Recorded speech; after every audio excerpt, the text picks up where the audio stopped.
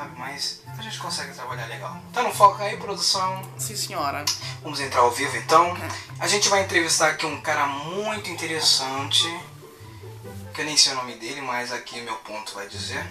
É um cara que. Ele faz uma coisa muito incrível a todos vocês. O que, que é mesmo? Eu não lembro. Ah, lembrei. Eu tô olhando aqui pra ele agora. É que ele tem um pouco de vergonha, ele não gosta de aparecer na câmera. Mas ele vai falar dali. Oi, tudo bem? Tudo. Então, é. Você disse que tem uma receita muito boa, não é verdade? Uma ce- receita assim que você trabalha com azeite. Uhum, exatamente. Mas como é que esse azeite você. Eu li assim uma reportagem sua num, num jornal aí de papel. Você dizia que você que caga mal, se você comer meu azeite fica melhor. Isso é verdade mesmo? É verdade, sim. Mas por que fica melhor? Você. Sai tudo de uma vez. Pá, chá. Eita, é uma cachoeira então quando você come seu azeite. Ah, interessante. Então eu coloco no meu macarrão, na minha comida, na minha salada e quando eu vou no banheiro, faço a, mele, a meladeira, não é verdade? Sai tudo. Mas se eu sujar a- o banheiro todo, como é que fica? Você tem que criar outro produto, não é verdade? Para que limpe aquilo tudo. Exatamente. Já estamos trabalhando nisso. Você tá trabalhando nisso? Exatamente. Qual o nome do produto? Anti-azeite. Anti-azeite, adorei esse nome, gente. Anti-azeite. Quando sair esse produto, com certeza eu vou falar aqui pra vocês, pra vocês comprarem. Qual o nome do seu azeite pro povo aqui de casa comprar? Azeite bom. Azeite bom, gente. Com azeite bom você fica bom, bom, bom. Até na hora de cagar. Olha que delícia, né, gente? A melhor, a melhor coisa é assim, você comer um azeite. É comer ou tomar azeite? Como é que se diz isto? Eu acho que, eu, eu acho que é tomar. Azeite, né? Depende, né? Se for numa salada, a gente toma. Não, come. A gente come. É, E se for numa comida, a gente come também, né? É. Então come azeite, né? acho que ninguém pega um azeite, bota num copo e toma, né?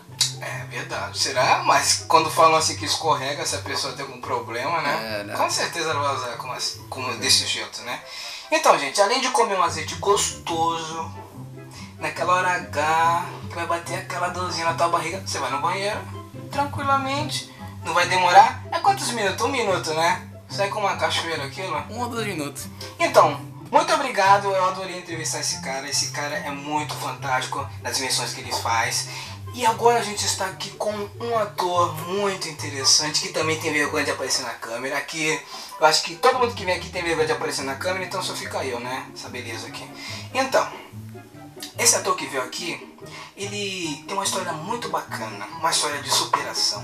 Então, é muito bacana entrevistar esse povo. O nome dele, qual é o nome dele? Produção, qual é o nome dele mesmo? Matheus. Mateus, Mateus. Hum, nome bonito, viu? Olha que eu já namorei um Mateus, então. Acho que não é ele não, né, gente? Deixa eu ver se é um. Ah, não. Tudo bem, Mateus? Como é que vai, Mateus? Estou bem. Tá bem. É, o que que você. Qual foi a sua superação de vida? Pode dizer pra gente? Compartilhar esse momento assim que passou na sua vida que foi muito importante? Ah, meu problema? Seu problema, ele é da favela, gente. Olha só que coisa legal. Eu adoro, eu adoro é, é, entrevistar pessoas da comunidade, sabe, que falam errado. Muito é humilde. Muito legal, sabe? Então, qual é o seu. Vou falar na língua dele, né? Que é a língua de favelado. Qual é o seu problema? Qual foi, né, na verdade? Qual foi essa Meu situação? problema? Meu problema era que eu perdi meu pai. Ah, perdeu o papaizinho. E. Só isso? né? Aí com o teatro eu me superei. Ah, o, te- o teatro é, ajudou nessa parte então de você se superar dessa tristeza, dessa angústia. E eu descobri que você, assim que você perdeu seu pai, você teve uma grande oportunidade, é verdade isso? Eu ganhei uma oportunidade de um ator conhecido que se chama Bruno Oliveira. Bruno Oliveira. Pode falar um pouco sobre ele? Alguém pode falar? Eu não conheço, acho que deve ser novato, né? Nunca, nunca vieram aqui no meu ouvido falar sobre Bruno Oliveira, então eu não, acho que ele não é muito conhecido não. Quem é esse Bruno Oliveira? Bruno Oliveira era um ator, é um ator e diretor, um menino.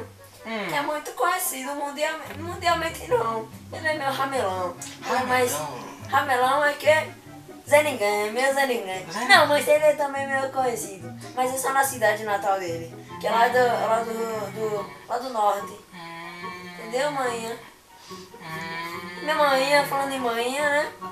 Manhã tá lá em casa vendo esse programa, ela gosta muito de você. Ah, um beijo pra ela. Qual é o nome dela mesmo? Jucimara. Jucimara, muito obrigado pela sua audiência, muito obrigado mesmo. Eu fico muito feliz quando vem as mães, os familiares, os convidados estão assistindo a E gente. outra, outra menina, ela gosta muito do azeite do, do garoto azeite, que apareceu né? aqui. Então- Azeite bom.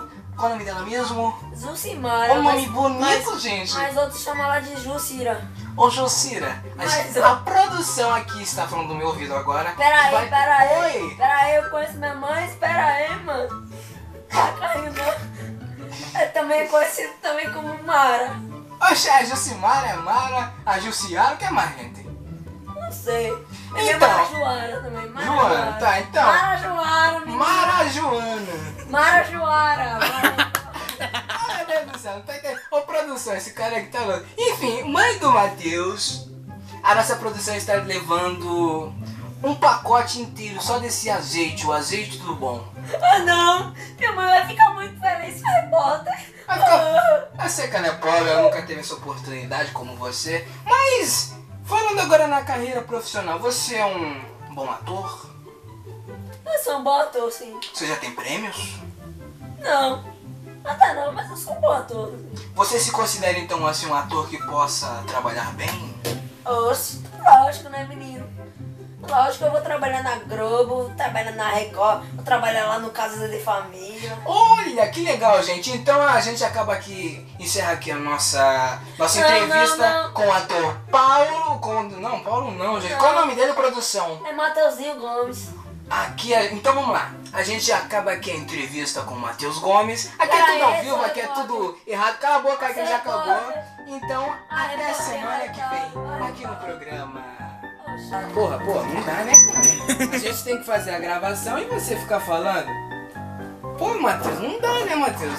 Produção, ó, na próxima vez traga pessoas que dá pra trabalhar, viu? Porque não dá. Esse cara é um bosta. Não Vai, dá. vai, não dá, não dá. Eu, eu pensei que. Que nesse cara do azeite. O que, que é isso do azeite, meu? Que caga melhor? Isso é mentira, gente. Já saiu do ar, né, essa merda? Ai, não, câmera preta, surpresa.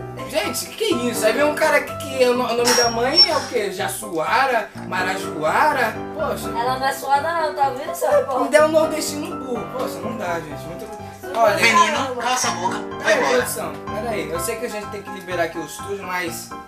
Não dá. É difícil. Nosso programa tem uma linha, assim, tem um... Olha lá, o outro manda beijinho. Então, gente, não dá. Olha, eu vou me dispensar aqui. Não, seu Meu repórter. azeite é o melhor, cala a boca. Então não dá mais pra trabalhar com Oxe. você. Atorzinho de merda. Ah, eu sou- Atorzinho de merda.